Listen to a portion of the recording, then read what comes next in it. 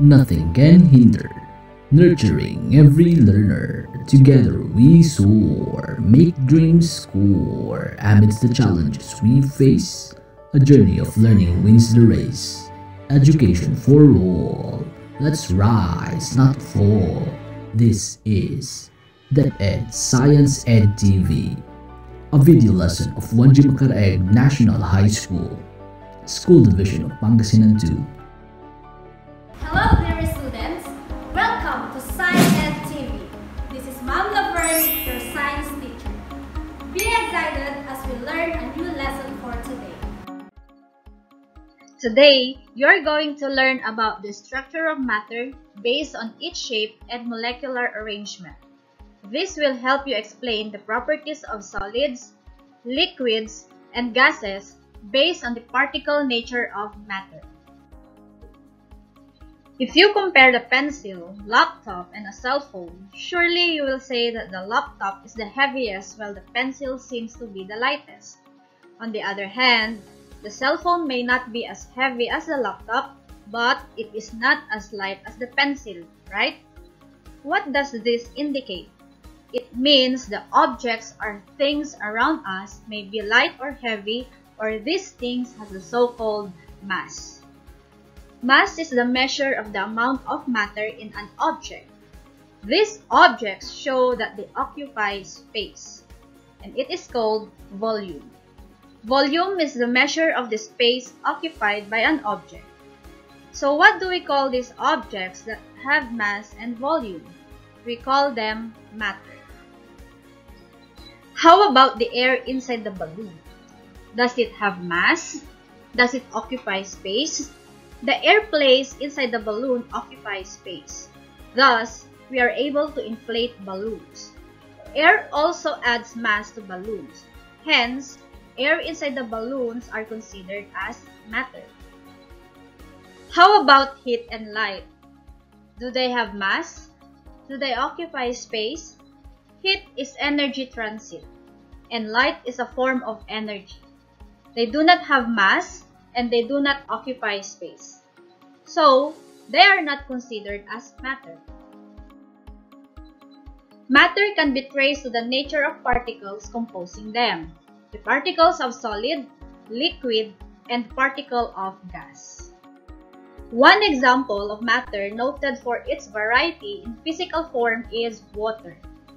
Water is common substance that we encounter every day.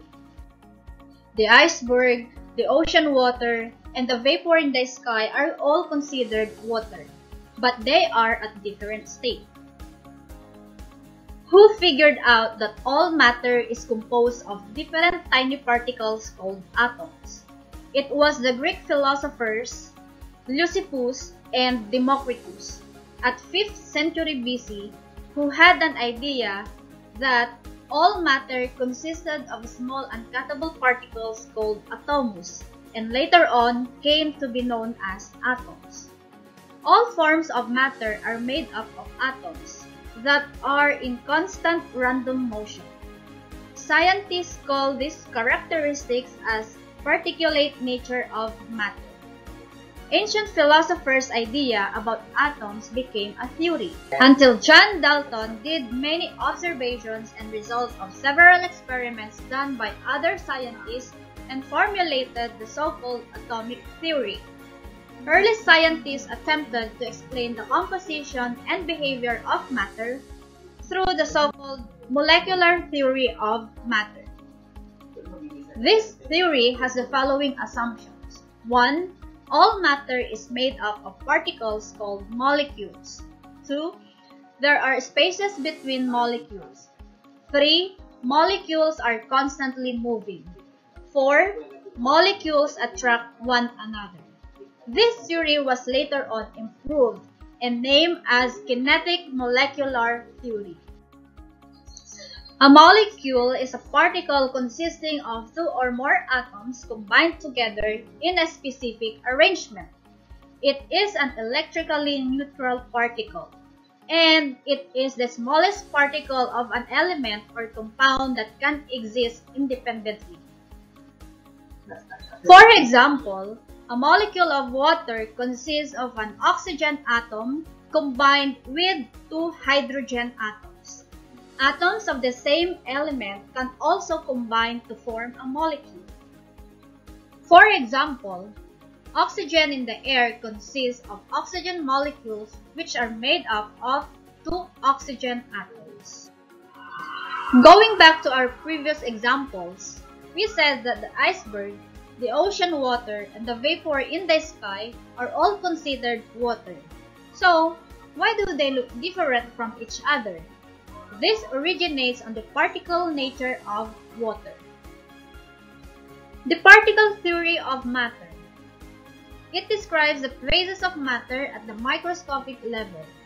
It also explains the differences in the properties of solids, liquids, and gases.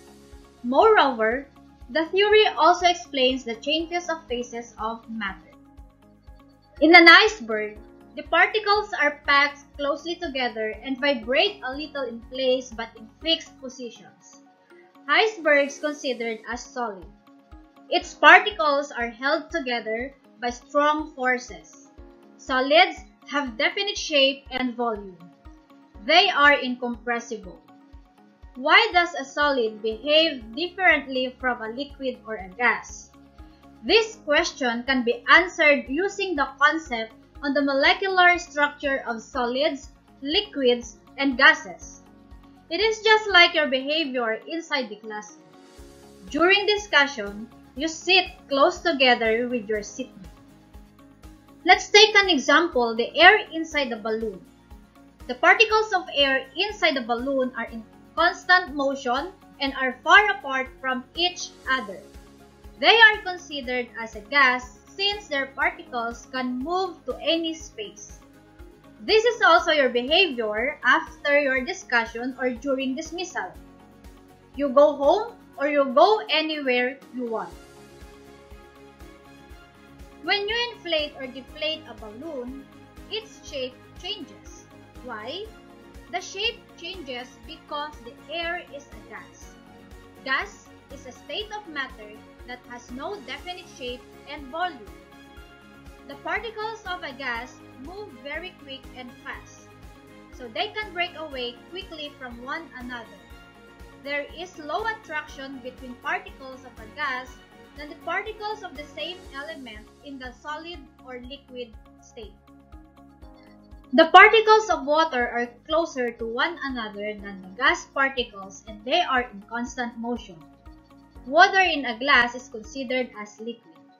Their particles move fast enough to overcome some of the attraction between them. The attraction between their particles are stronger than those in gases. Liquids do not have definite shape, and just like gases, they take the shape of their container. They slide past one another but stay together. Did you know that liquids have unique characteristics a special property of liquid is a so-called surface tension. It is a force that acts on the particles at the surface of a liquid. Surface tension causes some liquids to form spherical drops like the beads of water. Another important property of liquids is the so-called viscosity. Viscosity is a liquid's resistance to flow. Usually, the stronger the attractions between the particles of a liquid, the more viscous the liquid is.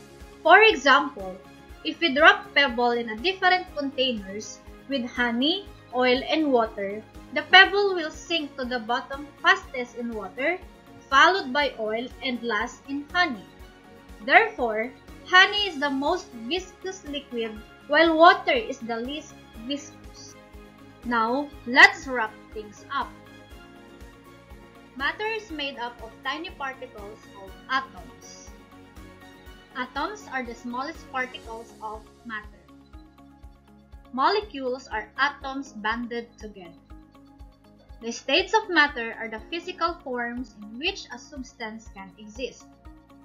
Shape is the external form or appearance of an object.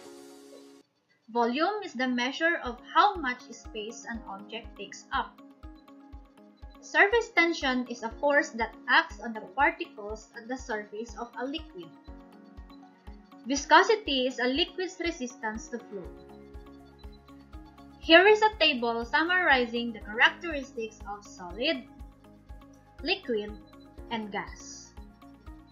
Solid retains a fixed shape and volume.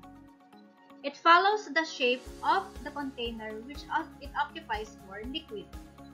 Gas follows the shape and volume of its container. Solid particles are locked into place. Particles of liquid can slide past one another. The particles of gas can move fast between one another. Solids and liquids are not compressible. Gases, on the other hand, can be compressed. In solids, space in between are a noticeable space between particles. In liquid, there are little free spaces between particles. And in gas, lots of free space between particles. Lastly, solids does not flow. Liquid flows easily. Same is true with the gas.